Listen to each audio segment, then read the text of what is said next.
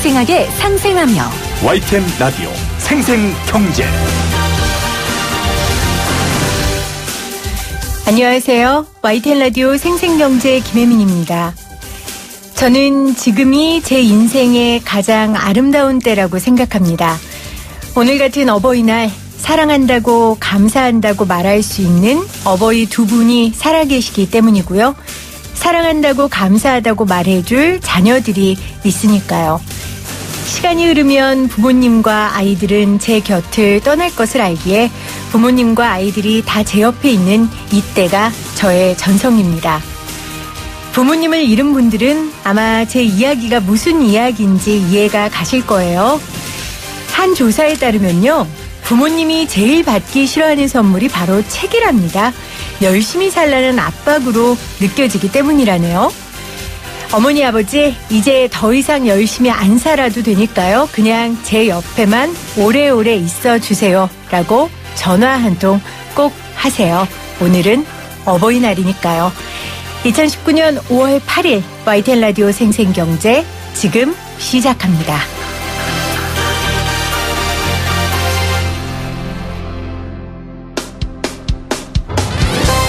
사람을 바꾸는 경제 이야기, 세상을 바꾸는 경제 뉴스, YTN 라디오 생생경제. 오늘 가장 뜨거운 경제 뉴스를 제일 생생하게 전해드리는 시간입니다. 이번 황금 연휴에요. 인천공항을 통해 해외에 나간 사람이 역대 5월 연휴 가운데 가장 많았답니다. 그동안 우환만 있었던 두 항공사 회사의 어깨가 좀 펴졌을까요? 아시아나항공과 대한항공이 여러모로 몸부림을 치고 있습니다. 관련 내용 한국항공대 허희영 교수와 전화로 이야기 나눠보도록 하겠습니다. 교수님 안녕하세요. 네, 안녕하세요. 교수님도 오늘 비행기 타고 어디 가셨어요? 출연 안 아, 하고 그- 이렇게 전화 연결하는 거 보니까 아, 국내에 돌아다니고 있습니다. 정선이시라고요? 네, 네, 정선에서 올라오는 길입니다. 아 거기 날씨 좋죠.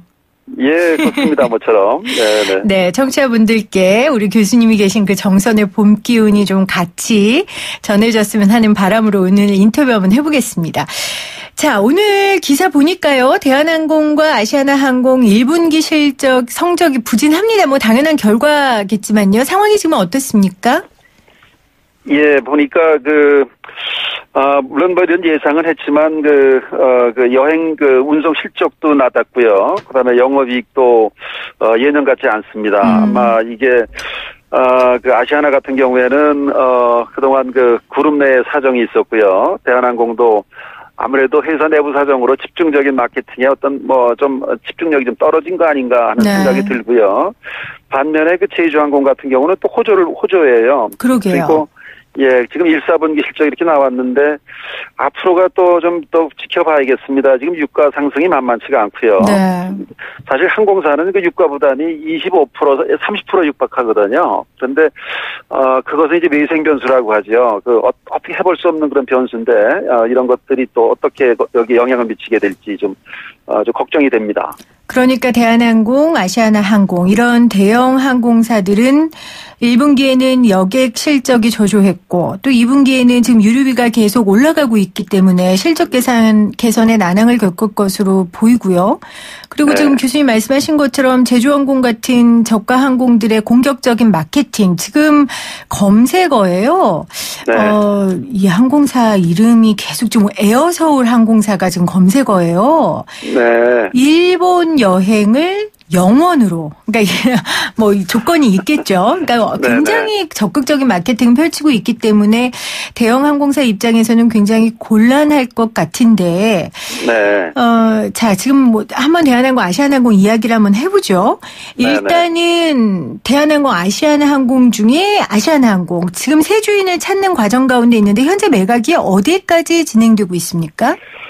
어, 지난달에 그 9일날 자구안을 내놓고 이틀 후에 거절당하고 이제 15일날, 지난달 15일날 이제 지분 매각을 공표를 했죠. 네. 공시를 했는데, 어, 이 내용은 이제 뭐, 어, 알려진 대로 금호산업의 지분 33.47%를 이제 매각하는 거죠.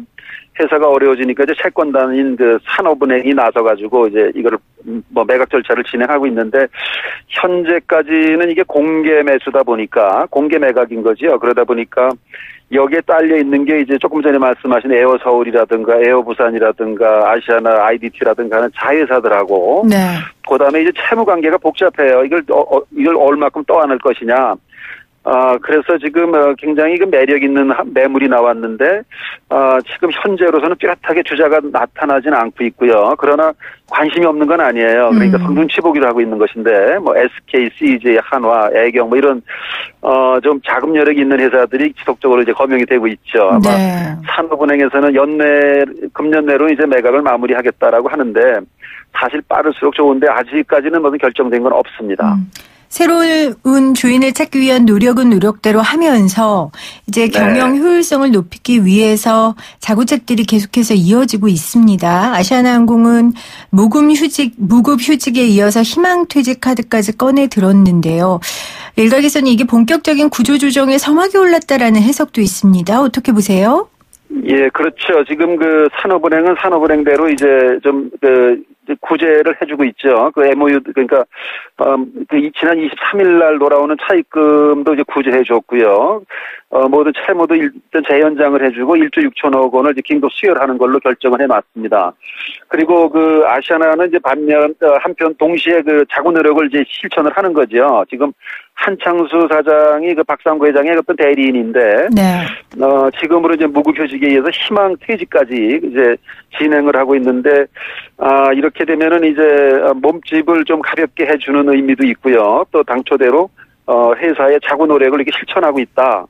근데 이제 매수 쪽 입장은 좀 시간을 벌게 하는 게 유리해요. 왜냐하면 그 아시아나는 지금 어떤 문제를 하나 안고 있냐면은 2013년에 그, 어, 샌프란시스코에 항공 사고가 있었죠.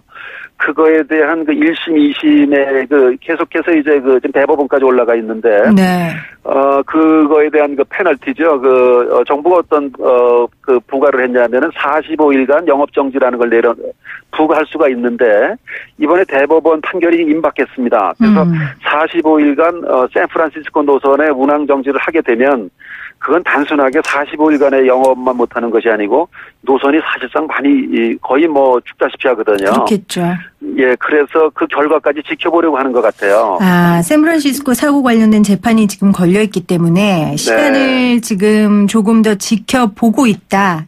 예, 라는 말씀이시죠. 매수하려는 후보 기업들은 기업들이. 뭐 시간을 네. 많이 벌수록 좋은 거죠. 상황을 네. 계속 지켜보는 것이고. 근데 이제 기업의 새 주인이 올 때요. 물론 네. 사려는 사람, 팔려는 사람이 주파나를 튀기는 건 맞지만 그 안에 사람이 있지 않습니까? 네네. 지금 우리가 희망퇴직, 뭐 무급 휴직 이야기를 했지만 지금 일단 노조에서도 바로 지금 나오는 이야기들이 왜 경영진들이 잘못했는데 결국 피해는 직원들이 봐야 하느냐. 결국 이거 임직원들 구조조정하려는 거 아니냐. 이런 지적을 하고 있는 거거든요. 어떻게 생각하세요? 예, 예. 맞습니다. 그 제일 안돼 안타까운 게 이제 그 아시아나 항공의 그 임직원들이죠. 어, 그뭐 사실 경영이란 그렇게 어려운 겁니다. 그 최고 경영자의 의사결정 하나가 이게 당장에 그 잘못 잘잘못이 나타나기도 하지만 10여 년 지나서 이렇게 아주 아주 극단적인 상황으로 몰렸는데요. 네. 지금 노조가 불만은 그 당연합니다. 왜냐하면 이번에 그 뭐 어떤 회사의 어려움은 다 공유하고 애들은 공유하고 있는데 이런 그 중요한 무급휴직이나 희망퇴직의 과정에서 노조하고 서로 그 어떤 그 어, 공유하고 대화가 좀 부족했던 것 같아요. 음. 예, 그래서 그 부분이 좀 안타깝습니다. 아, 이 부분이 계속해서 회사 내의 이슈겠어요. 노조와 직원들과 함께 좀 소통하고 교감해야 될 것 같고요. 특별히 항공업의 특성상 굉장히 많은 인력이 안전과 연관되지 않습니까? 그렇습니다. 그래서 이 부분에 있어서 조금 더 어, 전략적인 판단이 필요하지 않을까 하는 생각입니다. 자, 아시아나의 또 하나의 노력, 이 수익성 개선을 위해 비수익 노선을 과감하게 정리하는 수순을 밟고 있습니다. 어떤 노선들이 없어집니까? 예, 지금 그 어, 수익성 제고 노력의 일환으로 조금 전에 얘기하신 인력의 생산성을 제고하겠다. 뭐 구조조정 쪽으로도 하나 하고 나머지 또 하나는 사업을 줄여나가겠다는 거거든요. 네.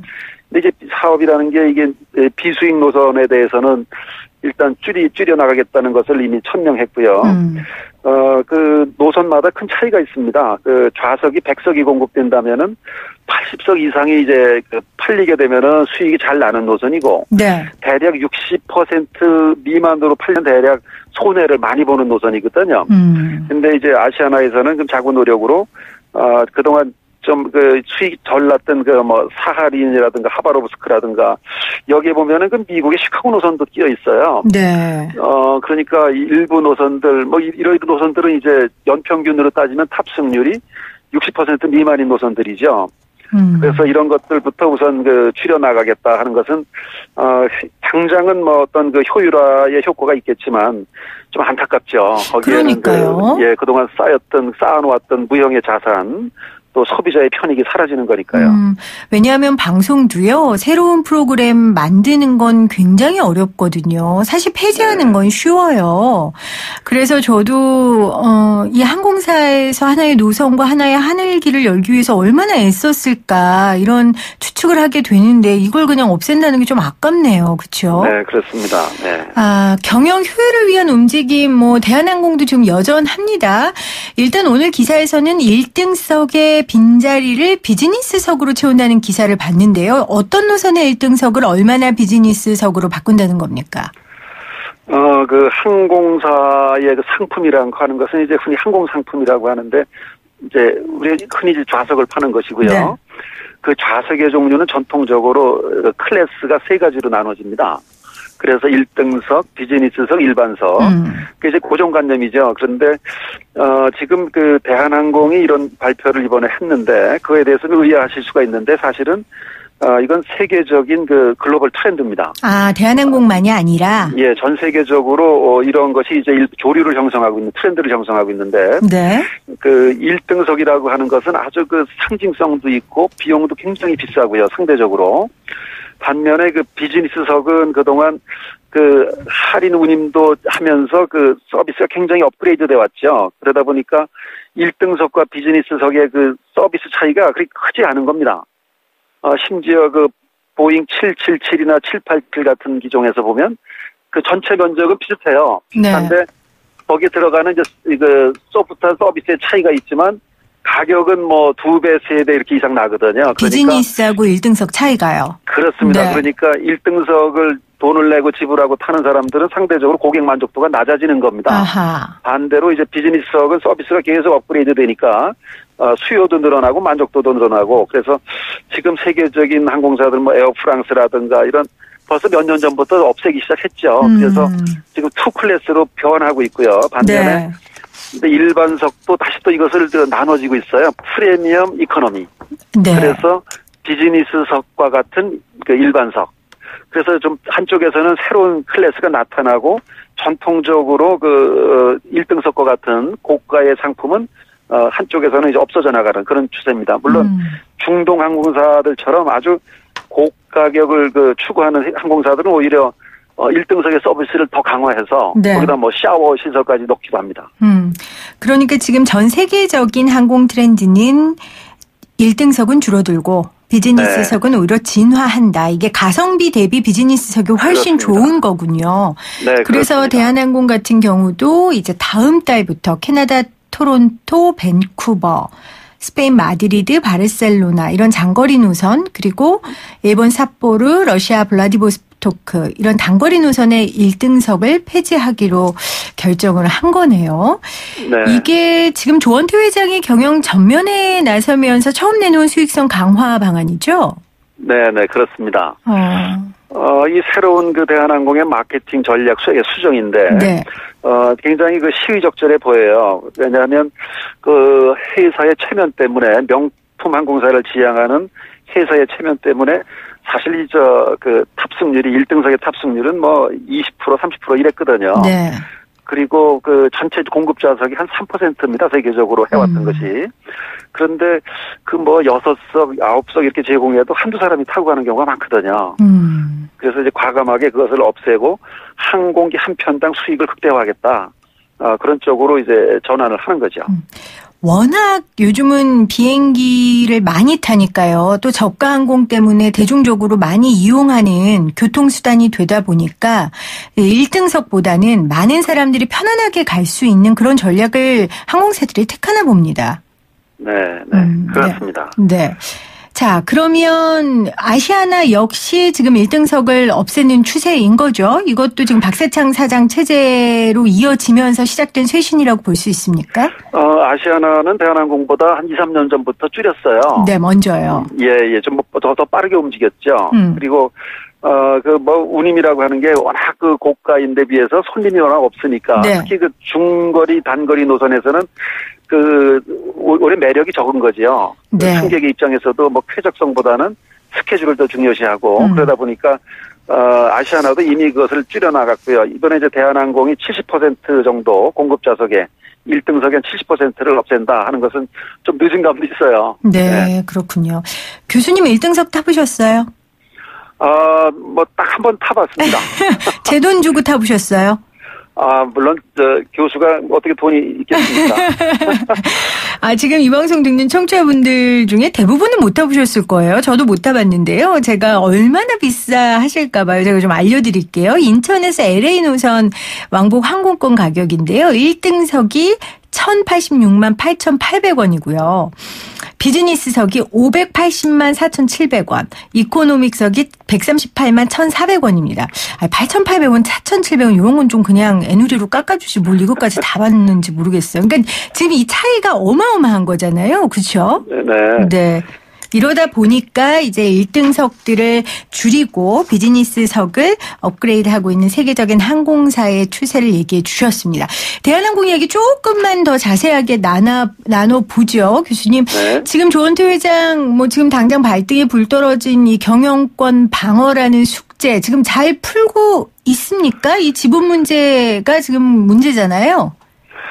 지금 그, 뭐, 그 내부 사정이야, 뭐, 그렇게 알려지지는 않겠죠. 좀알 수도 없는 거지만, 대략, 우리가 추측한 때, 어, 지금 그, 삼남매죠. 네. 그 가족, 대, 어, 그 조원태 사장, 어, 관련 지분을 다 더하고, 어, 그, 우리 그, 고 조양호 회장의 그, 물론, 물론, 뭐, 상속세가 이제 막한 2천억이 되는데요. 음. 그것을 다 받았을 때와 그 다음에 이제 사모펀드 KCGI하고 어 그거에 대해서 지금 그 물론 조금 좀 절대적인 그 지분은 조금 높아요. 높은데 네.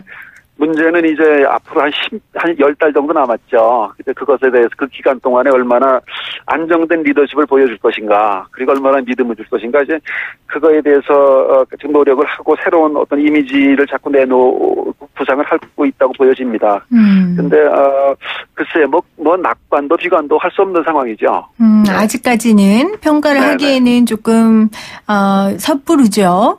근데 아까 말씀하신 것처럼 이 상속세 2천억 원도 굉장히 부담 스럽잖아요. 그래서 그때 교수님 모시고도 이걸 어떻게 해결할 건지 뭐 예상을 하기도 했었는데 지금 어떻게 이 부분은 좀 할 것 같으세요? 이것은 아마, 그, 지금은 이제 모든 게 투명해서 개인적으로 이거를 그, 어, 승계자가 부담해야 되는 거거든요. 네. 그런데, 어, 이게 이제 분납도 가능해요. 그러니까 음. 5년간 분납 방법도 있고, 그럼 어떻게든지 작은 돈은 아니거든요. 지금 2천억이 좀 넘어갈 거예요. 왜냐하면 한진칼의 그 주가가 계속 오르고 있거든요. 네. 그 오르는 이유는 이제 이 경영권 그 어, 어떻게 보면 쟁탈전이죠.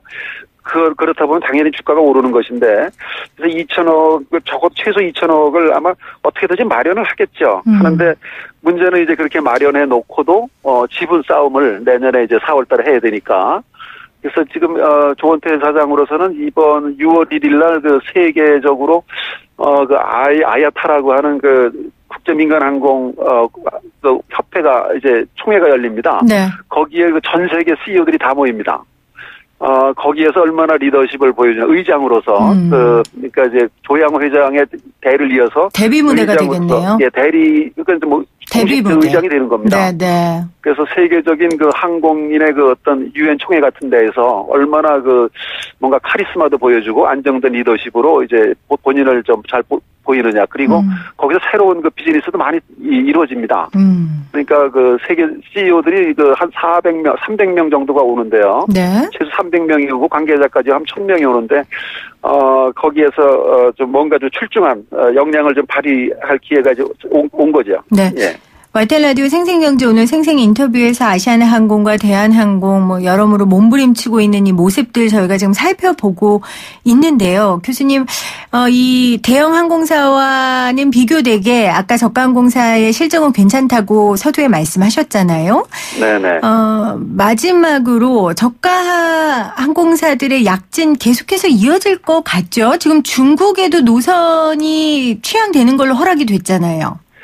지난주에 예 맞습니다. 그 중국하고 운수권이 많이 늘어났어요. 네. 그러니까 어, 지금도 이제 큰 뭐 우리 중국은 우리에게 큰 시장인데 이번에 그 운수권이 더 늘어났죠. 늘어나면서 대한항공과 아시아나는 물론 더 받았지만 워낙 파이를 늘렸기 때문에 LCC들이 상대적으로 더 많은 이득을 받습니다. 네. 아주 핵심 알짜 노선에도 많이 취향하게 됐고요. 그래서 앞으로 그 약진이 계속 어 뭐 예상은 되는데 이제 한 가지가 있습니다. 이 지금 또세 개의 그 신규 사업자가 그 취향을 준비하고 있지 않습니까? 네. 그래서 지금 기존의 여섯 개 LCC와 또 신규 사업자가 이제 과연 성공, 성공적으로 런칭할지는 음. 지켜봐야겠지만 앞으로의 그 항공 시장은 많이 재편이 예상이 됩니다. 어 음. 그러니까 어 과거에 어그 미국의 사례를 보면 이렇게 플레이어가 많이 늘어났을 때 미국의 1980년대 이후 시장을 보면은 많은 사업자들이 시장에 등장하고 시간이 10여 년 지나면서 M&A가 또 빠르게 일어나고요. 네. 그러면서 시장이 재편되고 나 보니까 어 거대한 캐리어, 거대한 항공사들이 살아남더라. 그리고 신흥 강자가 또 등장하는가 하면 기존의 항공사들은 또 소멸되기도 하고요. 그래서 그러한 그 어떤 새로운 스테이지가 앞으로 한 10여 년간 펼쳐질 걸로 음. 보입니다. 신규, 그러니까 새로운 선수들이 지금 무대에 오를 준비를 하고 있고요. 이제 무대에 네, 네, 올라가면 아주 격렬하게 경쟁을 할 테고 그 네. 가운데서 이제 승자와 패자가 가려지겠죠. 아, 네. 저는 어쨌건 소비자니까요. 그 가운데서 이익을 보는 건 소비자였으면 하는 예. 그런 바람을 좀 가져봅니다. 그리고 대한민국의 항공업계가 조금 튼튼해 졌으면 하는 바람도 국민으로서 가져보고요. 정선 여행 잘 하시고요, 교수님. 다음번에 네. 스튜디오에서 모실게요. 고맙습니다. 네, 고맙습니다. 지금까지 한국항공대 허희영 교수였습니다.